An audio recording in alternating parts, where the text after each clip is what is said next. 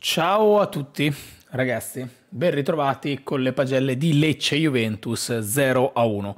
Una vittoria che arriva con un gol di Nicolo Fagioli, come vedete anche dalla grafica di Soccerment. Poi nel pomeriggio, grazie a Soccerment, andremo ad analizzare anche nel dettaglio la prestazione, secondo me, brutta della Juventus e vi lascio i link qui sotto in descrizione per andare a vedere i dati di Soccerment sulla piattaforma di Soccerment. Poi andiamo ad analizzarli appunto insieme con un altro video. La Juventus conquista tre punti su un campo complicato come quello di Lecce in una partita un po' così, un po' tirata. Infatti, come potrete vedere poi da, anche dai voti di, di, queste pagelle, non avremo chissà quali valutazioni. Quindi direi di iniziare subito perché ci sono tante cose da dire anche in una partita abbastanza ridotta a livello di occasioni. 5,5 a Massimiliano Allegri perché la Juve non mi è piaciuta, non posso essere soddisfatto di quello che è questa Juventus, anche pensando un po' alle prossime gare ho paura perché mercoledì poi ci giochiamo l'accesso all'Europa League perlomeno oppure l'eliminazione completa dall'Europa eh, contro il PSG e sottovalutare il PSG significa fare una figuraccia in mondovisione e vorrei evitarla quindi sicuramente una prestazione del genere a Torino contro il PSG non la possiamo fare, come non possiamo farla con la Lazio, come non possiamo farla con l'Inter e forse come non possiamo farla nemmeno contro l'Ellas Verona, perché ormai mancano pochissime partite da qui alla pausa, soltanto quattro, di cui tre di campionato e una di Champions, eh, è anche vero dall'altra parte che mancavano tanti giocatori e che si doveva fare con quello che si aveva. Allegri ha un grande merito, secondo me, e cioè di sostituire McKenny alla fine del primo tempo, di inserire Fagioli, che è un po' la svolta della partita. Per il resto, quello che abbiamo visto non è assolutamente sufficiente per una squadra come la Juventus, non è sufficiente per una squadra che vuole arrivare nelle alte posizioni e allo stesso tempo non è nemmeno una partita da valutare al 100% perché gran parte della rosa era fuori, quindi secondo me 5,5 è il voto perfetto perché non va nella direzione della sufficienza perché è una partita insufficiente né nella direzione della bocciatura definitiva proprio perché c'erano delle attenuanti, quindi secondo me 5,5 è, è la valutazione ideale, poi ovvio che poteva essere più alta anche in una condizione di emergenza con una vittoria convincente che secondo me non è avvenuta nella partita di ieri. Scesni voto 6 perché bene o male il Lecce a parte quel palo nel finale, beh, occasioni vere e proprie grandi clamorose non ne ho viste e quindi Scesni è stato quasi uno spettatore non pagante e, e nulla più. Quindi manteniamo la porta inviolata, clean sheet, molto bene però affrontavamo una squadra veramente in seria, netta difficoltà e quindi meno male che siamo riusciti a non prendere gol almeno da questo Lecce qui. Gatti 6. Gatti è stato prudente, veramente. La, la, parola, se dovessi scegliere un hashtag per Gatti è prudenza, perché anche nei momenti in cui poteva andare dal portiere, nei momenti in cui poteva fare un retropassaggio o poteva spassare alta per cercare di alleggerire, lui buttava in, in fallo laterale nel dubbio in fallo laterale. Meglio là che qua, eh, proprio per essere sicuri, per essere convinti, però capisco anche un po' la filosofia dei gatti perché sono le prime partite in Serie A, sono le prime partite con la maglia della Juventus e, e questa paura se la porta dietro, ci sta, quindi si becca il suo 6, la sua sufficienza perché comunque la partita non è insufficiente, però deve iniziare ad avere anche un po' più eh, di consapevolezza e, e, di riguardo nei confronti del pallone, se può cercare di, di mantenere il possesso senza doverlo per forza buttare in, in, fallo laterale, ma arriverà col tempo, questa è tutta una questione di esperienza. Sei anche a Danilo, Juventus non soffre, l'abbiamo detto, meriti della Juventus, demeriti del Lecce, magari una serie concatenata di queste due motivazioni qui. E Danilo si becca al suo 6, sempre attento. Danilo, tra l'altro, oggi faceva proprio l'ultimo uomo in assoluto. Danilo che aggiunge un piccolo ruolo al suo database di, di prestazioni. E quindi sappiamo che dove c'è un buco c'è Danilo, pronto a colmarlo. Quadrado non mi è piaciuto. No, probabilmente uno dei peggiori in campo, ma ancora nervoso, fa quell'intervento lì, si becca il giallo, poi in altre occasioni rischia ancora il giallo, da capitano della Juventus perché mancava Bonucci, ma Quadrado è all'ennesima partita stagionale che, che, non mi dice niente, lento, goffo, non salta l'uomo, non crea superiorità numerica, non so più cosa fare con questo quadrato, lo metti alto, lo metti basso, lo metti esterno, lo metti più interno, lo metti, lo stringi, lo allarghi, il risultato non cambia. Quadrado che in questa stagione veramente non, non riesce a dare quello che ha sempre dato alla Juventus e quindi si becca un'altra insufficienza perché secondo me la partita di Quadrado non, non arriva al 6. Invece mi è piaciuto molto Alexandro. E Alexandro, è, vabbè, tolto la partita col Benfica dove ha avuto un problema all'anche dove è subentrato, però in campionato è già la, la seconda, la terza partita di fila che convince. Che convince. Stiamo ritrovando Alexandro? Non ho idea, cioè dall'altra parte mi sembra anche assurdo dire che stai ritrovando Alexandro e stiamo perdendo quadrado, però poi alla fine il campo che parla bisogna ascoltarlo, secondo me Alexandro è uno dei migliori in campo in questa partita. Attenzione, concentrazione, passaggi, stava lì, copriva, spingeva anche nel primo tempo, un'unica azione vera e propria nasce da Alexandro che si stacca, porta palla, va in verticale, va a cercare Sulecchi, appoggia su Miretti, il tiro in porta quindi bene, secondo me Alexandro è andato bene. In questo mare di mediocrità sta emergendo pure Alexandro. Questo è il messaggio che mi ha mandato un mio amico e non posso fare altro che concordare con lui. 5,5 McKenny, poi Allegri ha detto che aveva un po' di influenza, aveva avuto l'influenza. Eh, secondo me mh, non è una partita terrificante di McKenny perché comunque qualche pallone l'ha recuperato, però fuori forma. Cioè ormai io più di dire che McKenny è fuori forma non so che altro dire, cioè mh, non c'ha lo spunto, non l'unica cosa che ha McKenny è l'inserimento. Ottimi tempi di inserimenti e questa grande fisicità che lo aiuta tanto, ma, ma per il resto in questo momento McKenny secondo me è impresentabile ad altissimi livelli. Lasciate stare i gol, perché il gol che fa col Benfica, ragazzi, in quella mischia sul finale, d'accordo, perché anche prima in live su Twitch qualcuno mi continua a dire, eh, però McKenny gol fa gol. Sì, d'accordo, però nella totalità della partita parte qualche pallone recuperato. McKenny sto facendo veramente fatica a vederlo.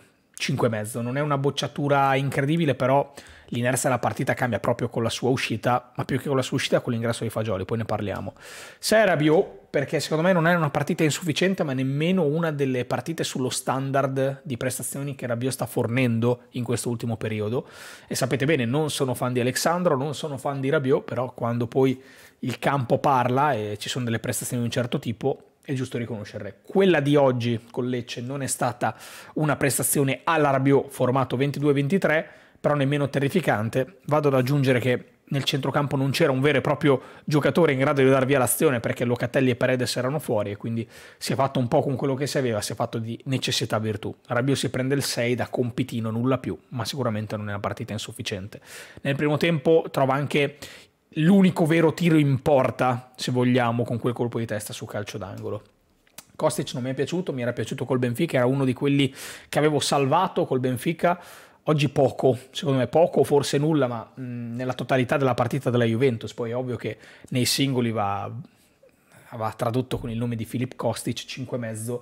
Non mi ha convinto alla grandissima. Kostic, secondo me, è un giocatore che in un sistema di gioco, anzi in una squadra che funziona, il suo lo può dire tranquillamente. Questa Juve è un po' altalenante, infatti le sue prestazioni, i suoi voti vanno da, dal 5 al 6 e 5,5 come in questo caso, quindi c'è sempre un po' di, di montagna russa.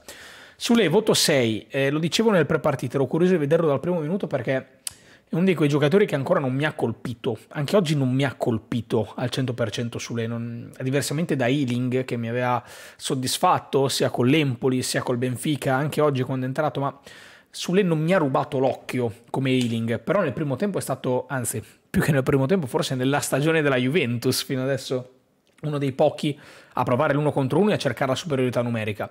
Secondo me la partita di Sule non è stata perfetta anche perché ha giocato in una posizione abbastanza centrale se vogliamo, se vogliamo, perché io me lo immaginavo largo a destra, invece magari era un po' la posizione di riferimento, ma lui ha giocato molto tra le linee, non è stato eccellente, non è stato magnifico, però ha cercato sempre uno contro uno, ha cercato sempre di dare superiorità numerica, ha cercato sempre di saltare l'uomo e quindi questo secondo me è una cosa che, che, gli va riconosciuta e va premiato in questo modo nel secondo tempo veramente effervescente, infatti poi eh, viene anche sostituito nel finale per via di crampi, perché poi quando sei abituato a non giocare mai eh, è abbastanza facile farsi venire i crampi, credo che sia un 6 di incoraggiamento perché la le, le qualità ce le ha, la prestazione invece non è stata secondo me al 100% convincente, ma la prestazione della Juve in realtà non è stata convincente. E Sule secondo me è uno di quelli che comunque si salva nell'analisi dei singoli perché il suo l'ha fatto e cioè provare a saltare l'uomo, puntare l'uomo e creare superiorità numerica.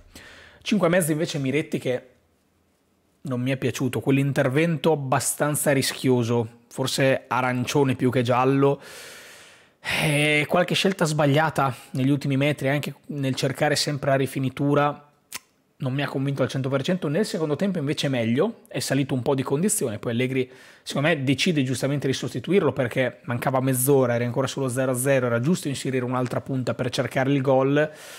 Miretti che non fa la prestazione migliore del Reame al suo ritorno in campo tra i titolari dopo un bel pezzo, davvero un bel pezzo, eh, però non è una bocciatura, sappiamo che Miretti ha delle qualità, eh, sappiamo che Miretti è uno dei giocatori da tenere d'occhio per il futuro, sono contento di poter dire che Sule per il futuro, Miretti per il futuro, ci sono Ealing e Fagioli di cui parleremo dopo, quindi iniziano ad esserci dei nomi, tanti nomi all'interno di, di questa Juventus, di giocatori che possono dire la loro. 5 Milik, non mi è piaciuto, non mi è piaciuto ma sono abbastanza convinto che in questo momento sia abbastanza difficile per tutti gli attaccanti giocare all'interno della Juventus e secondo me questo deve essere anche un, un ragionamento che va a coinvolgere Vlaovic che oggi è fuori per pubalgia.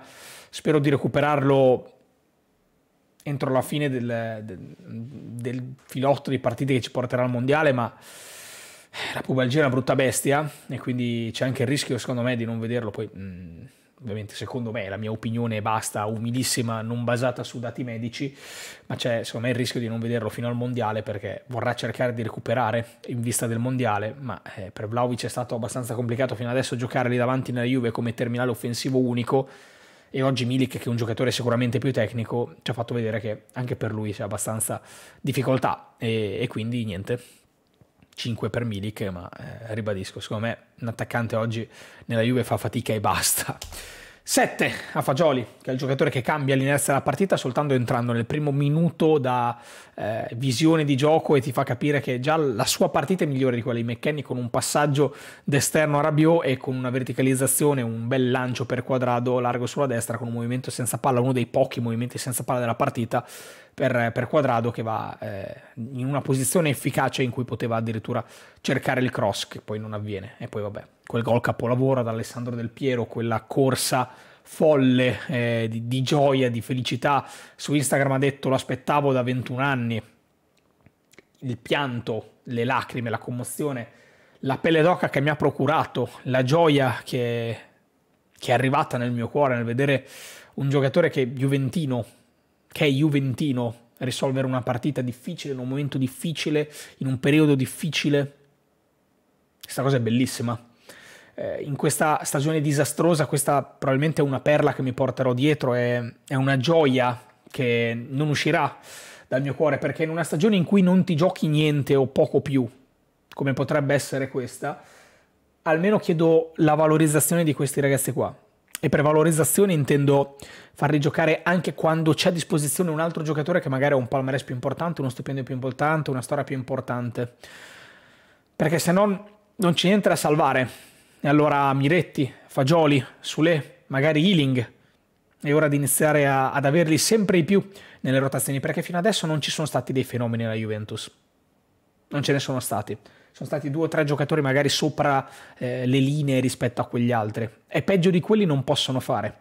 E a quanto pare forse possono fare anche meglio. Certo, contro una squadra abbastanza facile probabilmente da affrontare come il Lecce, ma che deve essere un test d'allenamento per, eh, per farli essere pronti anche nelle prossime partite.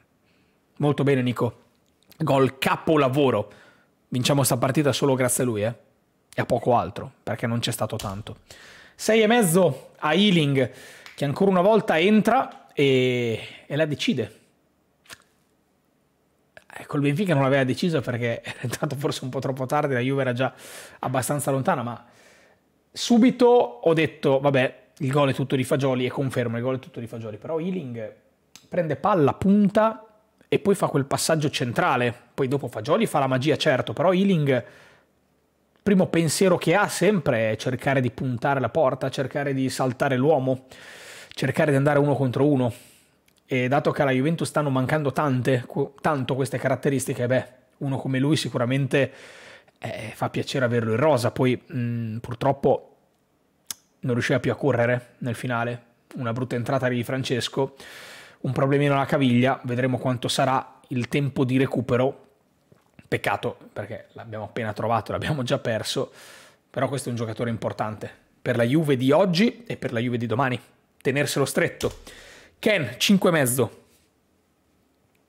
non un grande impatto, secondo me, di Ken sulla partita, dopo un periodo invece in cui le cose le faceva, secondo me, anche discretamente bene. Era un buon momento per Moise Ken, che forse poteva partire anche oggi titolare, o forse no, anche in previsione di quello che sarà il match con il PSG, la sua ex squadra.